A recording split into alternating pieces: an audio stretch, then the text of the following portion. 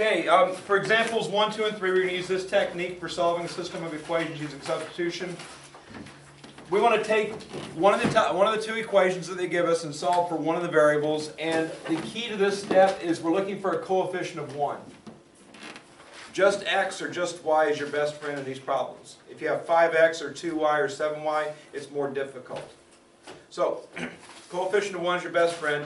Negative 1 is your second best friend. Okay, anything else is not going to be friendly. Every problem is going to have at least one term that has either 1x or 1y ready to go. Uh, we'll be able to do that very easily. Once you get that done, you're going to either have for that equation x equals a bunch of stuff or y equals a bunch of stuff. All right?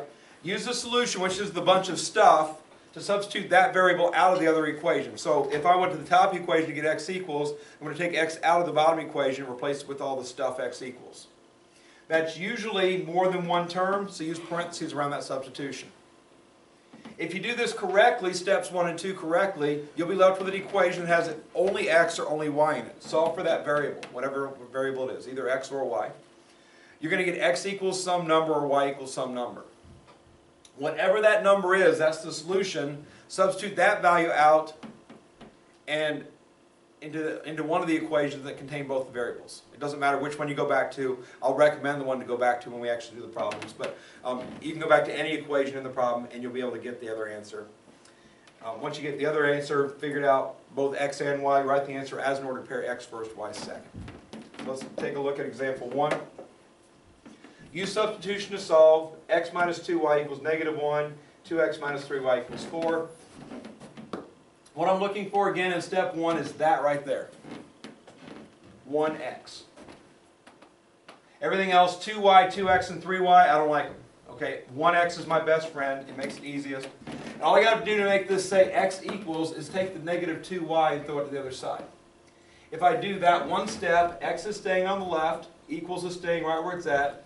2y becomes positive, negative 1 staying where it's at. Just like that, I have x equals everything else. That's all step 1 is if you have a coefficient 1. You simply have to rearrange things so that the single variable object all by itself. The reason the number in front of x will be bad, because if there's a number in front of x, i got to divide, right? All of a sudden I got all this stuff over a number, now all of a sudden I got this ugly fraction I got to substitute in. That's a little bit more difficult. So step 1, done. Step 2. I got this information from which equation?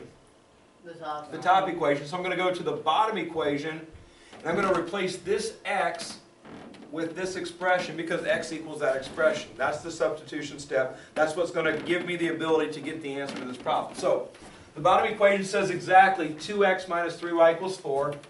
It's going to continue to say that, but instead of writing 2x, I'm going to write 2 times 2y minus 1 minus 3y equals 4.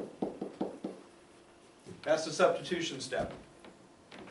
Okay, the bottom equation has 2x minus 3y equals 4. 2x minus 3y equals 4. And again, instead of writing x, I'm writing the equivalent of x, which is 2y minus 1. And the usefulness of that is that I went from two variables and infinity solutions, every point on the lines of solution, to one variable, one solution, the one I'm looking for. Once I've done that, notice I did replace x one thing with 2y minus 1 two things. I put parentheses around my substitution. A distributive property is required. I get 4y minus 2 minus 3y is equal to 4.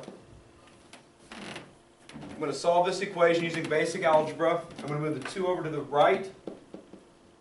Minus 2 moves across as a plus 2. 4y minus 3y makes 1y. 4 plus 2 makes 6. So X So we just figured out what y equals, which is 6. The next task is to find out what x equals. Okay? Now, what I said in step 5, or is it 4? 4, use that solution to substitute that variable out of any equation containing both variables. So take a look at our problem here. I'm going to erase these marks.